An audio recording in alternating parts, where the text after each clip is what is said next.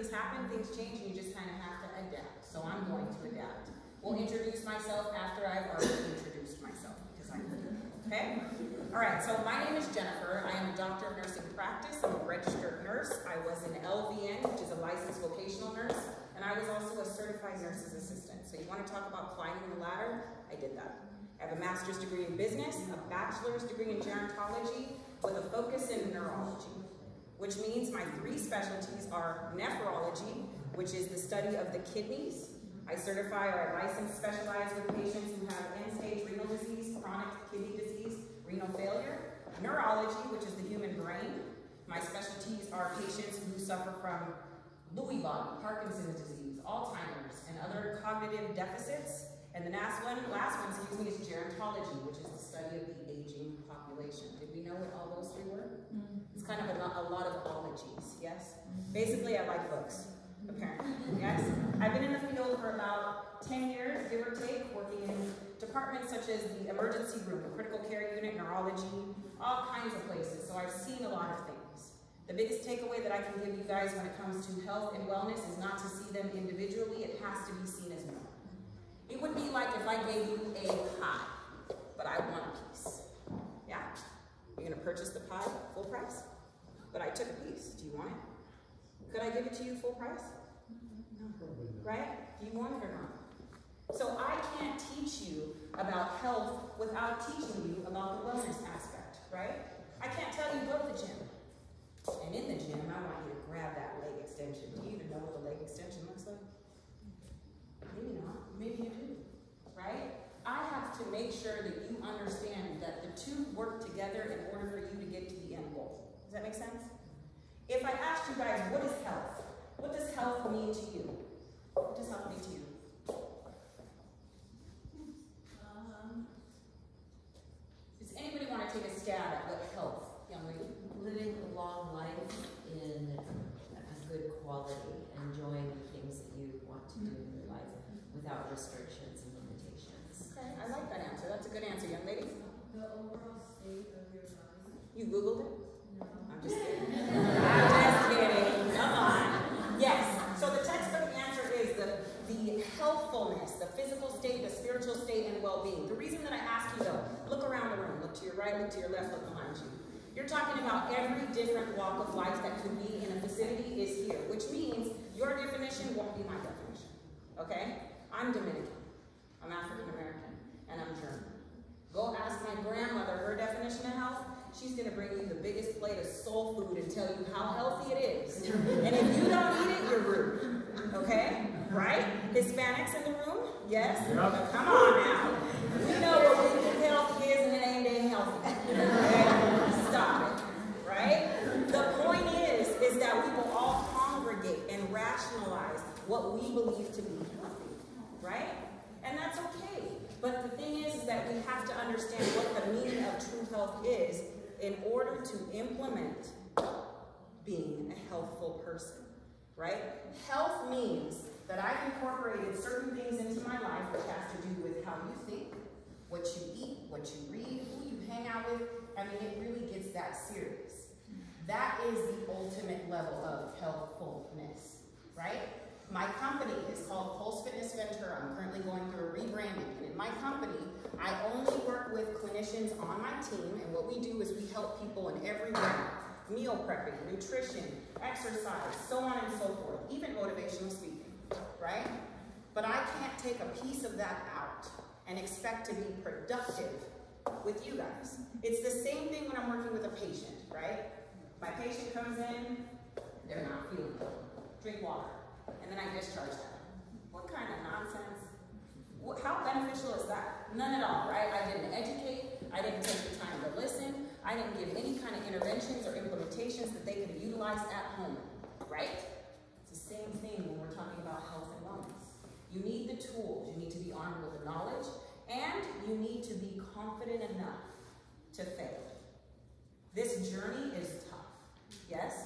Health and wellness is tough. It takes strong-minded individuals that all they, they may fall. Yes, my journey hasn't been the most successful, right? Some days you think I want to go to the gym. I don't even want to be bothered some days. Are you like that? It just is what it is, right? But again, it comes down to implementing the right tools, finding your reason. Everyone has one. So what's yours? Why do you wake up? Why do you feel that this is important to you? I don't know. Only you have that answer. Yes? Your why, your drive, your passion. Maybe you have grandkids, maybe you have children, maybe you want to get married, like Dr. Slava was talking about. Maybe you want to look good for that spring break so you can pick you up something or two. Whatever the reason is, right? Whatever that reason is, you're going to put the steps forward to do what you have to do to get to your end goal. But you can't do it aimlessly, right? We can't just do things and expect good results inconsistently. So when my patients or my clients tell me, when it comes to health and wellness, this is way too expensive.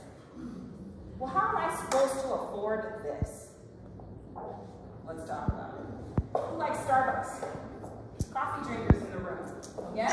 How many times a week you guys going through that drive-through or going into that store? How many times would you say? Every day. Every day. A drink is how much? Let's say seven bucks. Seven times six is 42. 42 times four, because you want that math, right? That's your accurate number. Now we're talking about a few hundred a month, times that by six. You want to tell me that you can't afford to invest in your health and wellness? Uh-oh. Uh-oh. Did I just? You can have your Frappuccino. I'm not here to judge your latte, okay? I, personally, am an espresso drinker.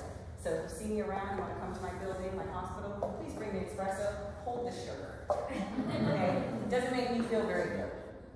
The point that I'm making is health and wellness is actually extremely affordable, but it's going to come down to perspective. What does this mean to you? Longevity of life and quality of life isn't something that's just invested in us. My patients that are 104 aren't 104 because they just, you know what? I'm going to be 104. My dear, my 104 year old patient is 104 and he's an avid golfer. He's a little whiskey drinker, but you know, that's his business. That's his business. The point is, he didn't get there because he was sitting around eating popcorn and ho-hos all day long. Okay? There's a lot of stimulation that he has done with himself, whether that be physical, mental, emotional, spiritual, and so on and so forth. This is what you guys should be implementing, and it can be baby steps. None of us expect this extravagant milestone to be crossed right away. That's impossible. I didn't cross it right away. You can't cross it, uh, cross it right away. But you can. Yes? Little by little, you can. Does anybody have any questions? Comments, concerns? Is my video working? Yeah. Woo! All right, now hold on now. Let, let me show you what it was supposed to be like. Face there, don't look back. Let me watch.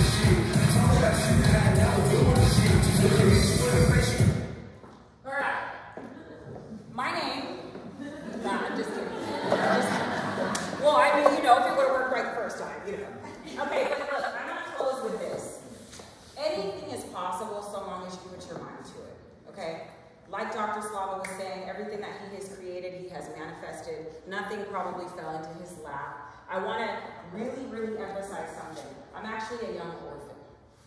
Okay? I have no parents. For the past six years, I've actually raised myself. I put myself through grad school. Okay? I did this with fear, right on my shoulder. A little bit of doubt to the left. A little bit of my armpits are sweating and I don't know if this is the right move, but I'm gonna pull the trigger because what's the worst that's gonna happen? It won't work. Ooh, it won't work. But I gave it a shot. That man that just popped up was my Father. That's my reason. He will always be my reason. Yes? So when I asked you guys, where's yours? Find it. Hold on to it. Ride the tail off that gun. But don't ever give up. Yes? Because you can and you will, so long as you want to. It's been a pleasure speaking to you guys. I hope that you've had a good time listening to me ramble on because I'm good at it. I hope you guys enjoy the rest of the presentation. It was nice meeting you.